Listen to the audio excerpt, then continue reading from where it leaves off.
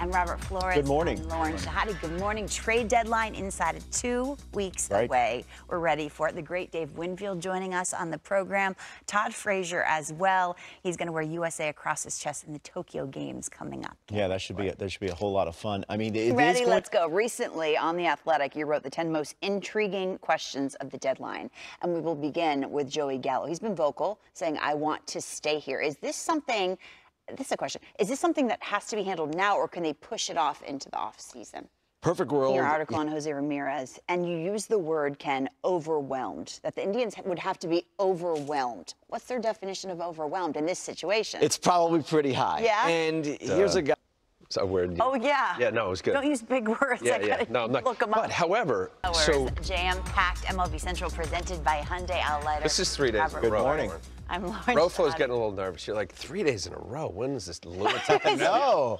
By the way, I got here early Uh-huh. and I see Al's money clip. Yes. To my dismay, there's one dollar in it. Uh, Al, I'm I'm looking at your money All right, clip so- right now, so- and a man of your means should Welcome not. inside. It's Friday. MLB Central presented by morning. Hyundai. Good morning with Robert Flores and Ron Darling. One week until the trade deadline, but the Rays couldn't wait, acquiring 41-year-old Nelson Cruz last night. I was looking at his baseball reference. but He's been doing it since 2005. He had 33 home runs in 2009. The Rays get a gem. You know how old 41 is? DeChambeau kind of Something deal. like that. Stir in the pot. That's okay. the only way we can get on the blog. We'll work on it. Yeah. Okay, because our jukebox jams poll is not cutting it. Not at all. Our producer is a Yankee fan, but he still came up with this. Blue Jays have a better chance at making the postseason than the Yankees. As of this morning, Fangraphs has the Blue Jays ble- better playoff odds at It's in your 47.4%. head that I can't hit here, and you can't hit at your home park. It's there for good. And I wonder if you're constantly hearing about who's next, right? Walls and Franco and Brujan. That has to play into it, no? I'm not sure. it didn't. 21. David Ross made it pretty clear. Over the next 10 days, he wants to tune out all the noise. He wants to focus on his team winning. And then Kris Bryant leaves with hamstring fatigue. And David Ross, the Cubs manager, had this trade deadline's coming up in a week and a half. What does that mean? And there are going to be some hugs in David Ross's dugout, most likely. Yeah? And we all know that, hey, Bryant we're is looking one pretty darn good. And, and then they run into the Brewers. They have 23. I was reading what you wrote 23 more games against the Pirates and the Cubs. So do we wait another week to kind of assess the situation? Yes, they're going to wait another week. in the Derby thinking, man, Jason, this is the year he puts it all together. And sure enough, right out of the break, first game, home run. And I'm thinking, I guess it doesn't alter your swing. I, I guess he's putting it all together and we're seeing something pretty special. You know, uh, I think there's like a handful of guys that when they come up to the widow of the great Jackie Robinson. One of the most significant days of her life, April 15th, 1947, when Jackie broke the color barrier. Here are Rachel's memories of that historic day in Brooklyn, New York, nearly 75 years ago. Take two tonight from Fenway. Jim Kaat, Bob Costas, Tom Verducci on the call. And Jim Kaat joins us now to preview the game. Good afternoon to you, Jim. Aaron Boone said after last night's game, I have it here, when you have guys absent, everyone protects each other. That's why you have to lean on the bullpen. Didn't work last night. How do you take what you learned, Jim, from last night's game when it comes to the bullpen and apply it to tonight if you're Aaron Boone? Al's, good morning, by the way. Hi, how are you? I'm good. Al's taking copious notes. I'm getting nervous. I don't know. Nobody was affected more probably than Game at a Alice. time. That's it. One segment at a time, Lauren. Till Roflo shows up. i know i Where did he go? Oh, he took the segment off. What's that? no, you're good. You're good. I'm paying attention. All right, let's see how you do on this bump because I wrote it. Okay. Go ahead. Carlos, it's something bad about the Astros? No. Carlos Correa, currently Anthony Santander and Kelvin Gutierrez in the dugout talking about it. Listen to this. He's right. So He's good. a hundred percent. I don't think you knew him. He's a little puffed out. No, I'm. s- uh, But He was He's afraid of dangling, the. but it never moves. Perhaps This is the year I think he This goes. is the year, Ken. Thanks so much on the inside corner. Hey, on Tuesday, the Players Alliance Gear for Good tour. Okay, now Guns this is how you vote. What's that? I feel like Guns N' Guns Roses N' might Roses. won. You, you may feel that way, but we'll see how it goes. Uh, remember, go to the MLB Network Twitter handle. They're going to send out the tweet. They're going to give you all the song choices, and you can vote. And I think it's pretty easy after we've heard all the songs. Who has the best song? And we'll reveal the answer a little bit later. All right, coming up, Brewers go to Cincinnati. West Coast is the best coast for your banners this Monday, shining a little spotlight on Cali teams. In Oakland, they're competing in the West, and as the deadline looms, a few few wins in their back pocket could certainly be helpful.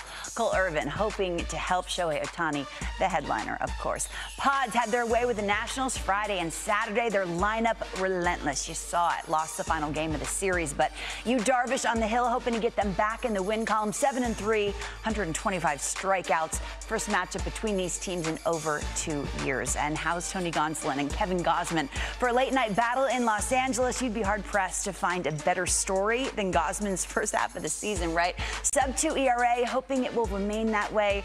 Giants have the Dodgers for three starting tonight. Houston that came out on the winning end at the juice box on Monday, but Cleveland wants one back, and they will turn to Triston McKenzie to make it happen.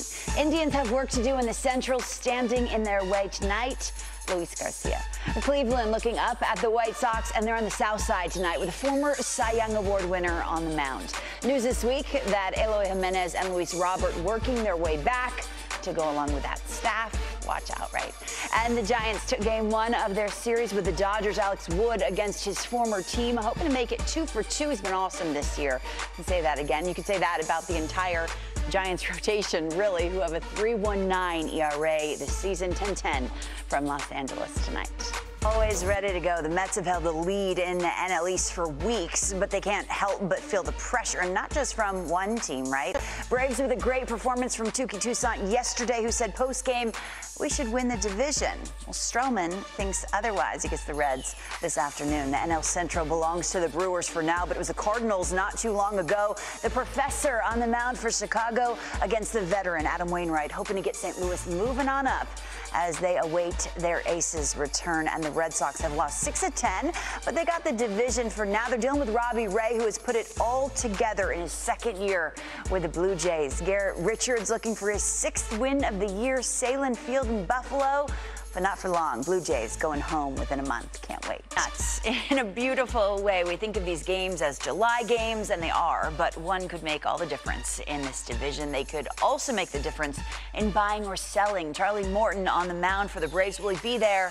In a week's time, 7.05 from the bank. He was in St. Pete just a year ago, and his former Rays are in Cleveland facing the Indians tonight.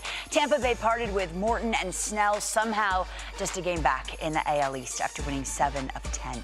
And it's the 10-win club of July at Dodger Stadium late night. Walker Buehler, Anthony DeSclafani, both with 10 wins to their name this season. It's a two-game cushion for San Francisco out west. Both pitchers, whose baseball reference page looks pretty pristine this year. Going to be a battle. Like the first two games have proven to be 10-10 out west tonight. Excitement and a glimpse into the future. Watch the Detroit Tigers lately. You heard me. Seven straight wins. The last time they had a perfect homestand, 2013. The manager, Jim Leyland. Now Wily Peralta gets the ball, trying to make it eight in a row in Kansas City tonight. You watch the White Sox or the Brewers, for that matter, nightly. You're going to see a pitcher that's going to wow you. Doesn't matter who it is. Pick any two. And tonight, it is Lucas Giolito and Freddie Peralta, two division leaders trying to stay put in July. And the A's aren't at the top, but they're inching closer, right? Frankie Montas hoping to inch further towards the goal tonight. The lineup will have to deal with Yusei Kikuchi. 10-10 from T-Mobile Park in Seattle tonight. Can't wait. People. You've lost 3% since you started begging. I think so. You I think started so. begging 100%. Unbelievable. Todd Frazier endorsed my vote. That definitely helped. It's the Todd Father effect. That's Have a it. wonderful day. See you tomorrow. Batting Just average. visit your home, see the Pulitzer. That's all that. there you go. Multi Emmy winner here, folks. Right here. A beefcake, not necessarily beefcake, but I'll uh, just call this silly. but uh, silliness day. and stuff like that. All right, we're gonna try it again tomorrow Sorry, America. with a whole brand new, exciting show. Are we? That's what they're telling me. Bye. Be alone. Right. Red Sox Yankees is our showcase game tonight. Can't wait for it. D Row is back on Monday. Have a wonderful weekend. Thanks for joining us. We'll see you then. Have a great weekend.